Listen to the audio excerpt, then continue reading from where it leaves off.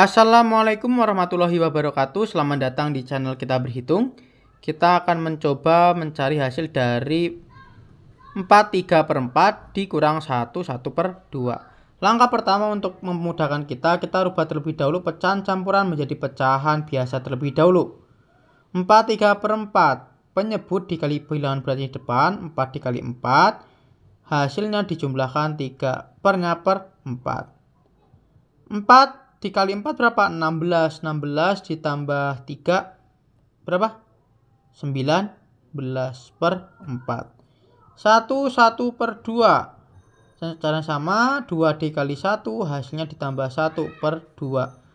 2 kali 1 2, 2 tambah 1 3, 3 per 2 menjadi 19 per 4 dikurang 3 per 2. Kalian harus ingat ketika akan mengoperasikan kita harus memakan penyebutnya terlebih dahulu ya. Kita dapat jadikan 4 ya. 19 2 supaya menjadi 4 dikali 2 3 dikali Nah, begini. Daripada kalian bingung ya, kakak bisa terlebih dahulu. 4 4 19.